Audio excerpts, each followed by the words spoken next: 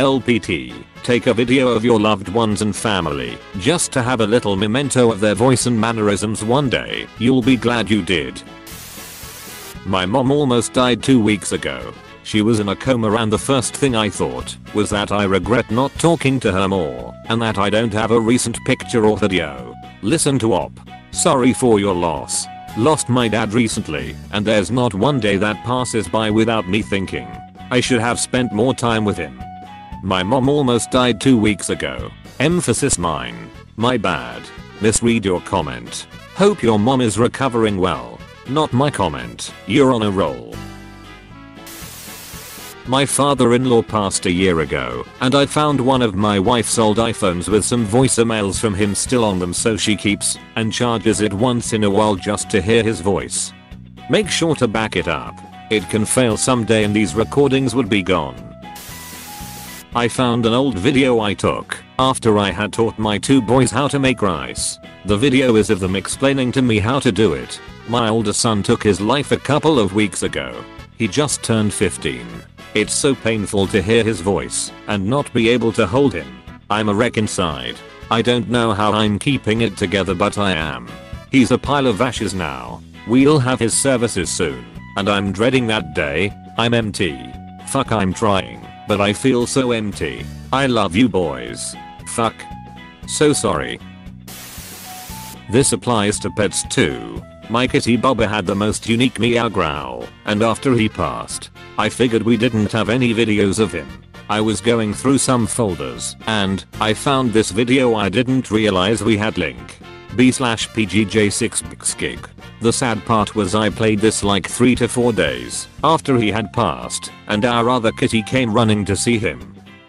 And it broke my heart even more, because I never considered what she must be going through. Semicolon open bracket. And now I'm crying all over again. Close bracket. Wow woo cat be like wow we love him. I loved him too. 3 enough to get it a 2. The same with your pets. Record them sleeping, eating, and other mundane things pets do. People. Take note. You absolutely need to do this. My guy died almost 3 months ago after a 10 month battle with cancer from diagnosis to death. We were only together 14 months. The only photos I had of him were dick pics and the pic he had up on the dating page where we met. He didn't like photos. I was lucky enough to meet his sister at his hospital bedside once, and we became good mates. She sent me a video of him that he had on his phone from a couple of months before he died. He'd gone away for the weekend with mates, and feed videoed him messing about in a bumper car at a fair. This 30 second clip is now one of my most treasured possessions to watch him getting on with his life while he could, loving life as much as he did, having fun, to see his much loved face smiling, laughing, his brilliant grin, the funny faces he used to pull, his expressions.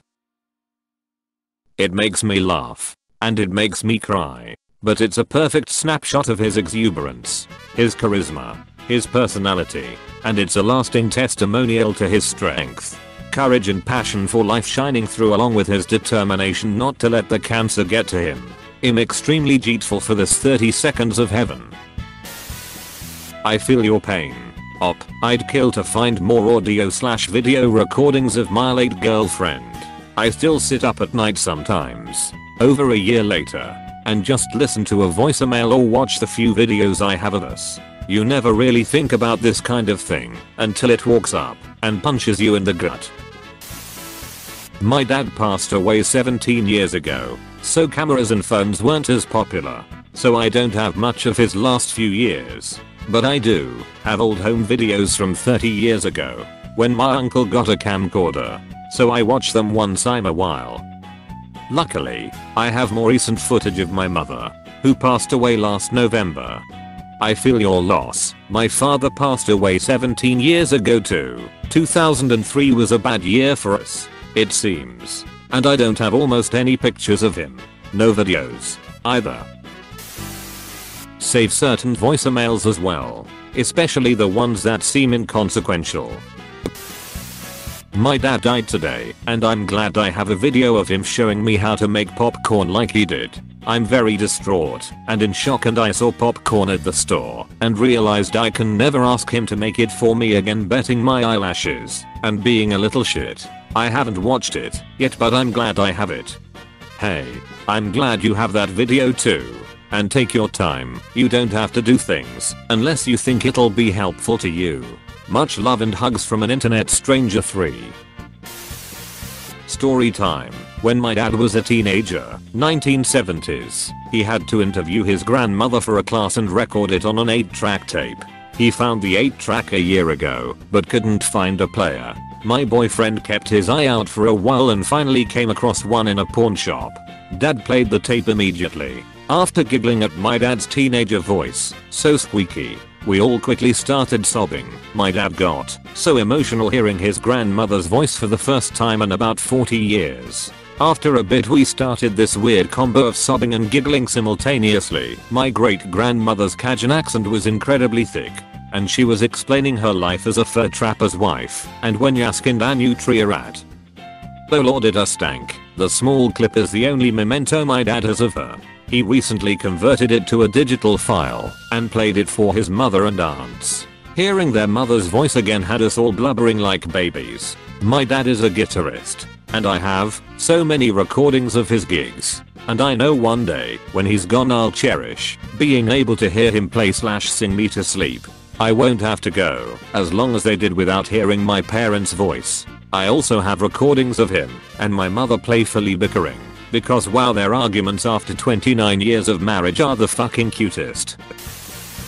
On a related topic, when you are younger you will tend to take pics that focus on the activities. When you get older, you will treasure the pics of the people doing the activities. I have tons of boring pics of me rock climbing when I was younger, and precious few of just hanging out with all the people I was with.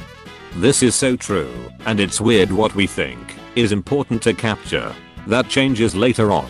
Some of my favorite images and videos I have are just pictures of family in the living room or the dinner table. Because that's how we remember them. Not that one time you were at Disney. It's a situation that I always hesitate to do but good idea. I was blessed I guess to have saved some of my mom's voicemails before she passed away. But to be honest, I still haven't listened to them since she passed in Jan of 2017. I'm afraid to. I tried once and started bawling, so I turned it off. I wish I had videos of her. Maybe I do on FB somewhere. Yeah, I'm dating a woman that has kids. She doesn't like taking videos, only pictures. So I've been recording videos of them and their family being together so they can look back at that stuff when they are older. This is great advice and terrible advice at the same time. Seeing videos of loved ones and hearing their voice is really nice. I'll listen to my grandma's voicemail every now and then. But these things don't help you to move on. And they don't help you to grieve properly. Or at least that's my opinion. Gonna have to hard disagree on this one. Just because someone disappears from this world doesn't mean any evidence of their existence should, as if that was possible anyway. You wouldn't burn all your photographs of a dead loved one. Would you? Unfortunately we as humans have limited memories that tend to fade over time. And if someone wants to avoid that, I don't see that as unhealthy to the grieving process. Having the technology to preserve moments of a person's life as they truly happened is a miracle of the modern world. That being said, it never could be a true substitute to having the person still alive. Which is why I don't think it interrupts the grieving process. They're not necessarily supposed to help you move on. I do think there's a line to be drawn. However, I don't know if you have seen the woman playing with her dead child in VR, but I think that's taking it too far. I agree they shouldn't be hidden away or thrown out, but they can prolong the mourning period and make it hard slash impossible to move on with life. My advice is to keep them, but only pull them out once you've grieved and dealt with the emotional turmoil so they don't become a crutch. I've seen that happen and it hurts to realize that instead of reminding of the good times the videos and mementos just brought sadness. I agree that sometimes the videos and photos can just bring in more grief, but only when people cling to them as the only thing they have left. It isn't the only thing you have left. What you have left is the impact that person made on you. You can tap in at any time and remember how it felt to be around them. If they were the sort of person whose presence lifted you up, you can feel that love every time you remember them. I've learned that people will forget what you said. People will forget what you did.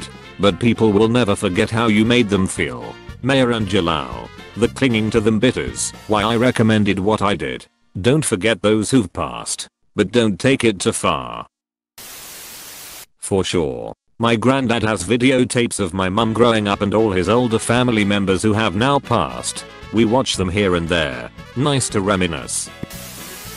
I swear I have video of my grandma someplace. On a VHS tape. I had videotaped it with a Sony camera and portable open reel recorder. And later transferred it to VHS. Trouble is, I never really labeled that tape. Serendipitous threads. Link. Reddit com slash r slash today I learned slash comment slash f9wp7m slash till underscore virgin underscore media underscore tasked underscore 10 staff underscore working underscore around slash after seeing slash responding to this post I stumbled upon this story of Virgin Media going above and beyond to get a gentleman's recording of his wife leaving the message for voicemail I have a video I took of a thunderstorm while I was at my grandma's place. You hear her talking with my mom for a few seconds. It's the only video I have of her voice. I also only have one good photo of us together. Since she hated having her picture taken. I wish she was around when I got my camcorder. I would have had so much more audio. Even if it only was her telling me not to film her. I'd like to second this and urge you to consider backing up these type of videos. Leaving them on tape or CD for the next 20 years may not work out. Thank you for this. I've been doing this with grandparents ever since my co-worker lost her grandmother. She's got a great video of her grandmother performing. She was a musician, but wishes she had more videos. There's no excuse today to not video your loved ones. You're probably holding a device capable of recording right now. Ask them to tell you about their childhood, their favorite pastime, or just secretly video them cooking or playing with their children, or whatever. My brother died a 3 years ago. He had a YouTube channel he was working to try and grow. Without it, I doubt I'd have audio with his voice. I'll add to this, if you have pictures or video of someone who's died, Send a copy to the family. They're desperate for just one more look. Especially send pictures from some time or place when the family wasn't around and likely wouldn't have the pictures themselves. Been there. When I knew my grandma was dying I videoed her talking to my daughter. Telling her how beautiful and loved she is, and I will forever be grateful for that video. My daughter was too young to remember her alive, but she will always have that video to know how much her great grandmother loved her. This is like the third time I read this on here in the past two weeks or so. My father died in a car crash last year, and if not for his friend recording him in the car singing I wouldn't have any videos of him. It's something I'll treasure for the rest of my life.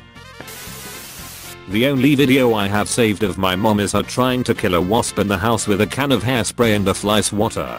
It's a ridiculous video, but I'm so happy I have it, and definitely wish I had filmed more.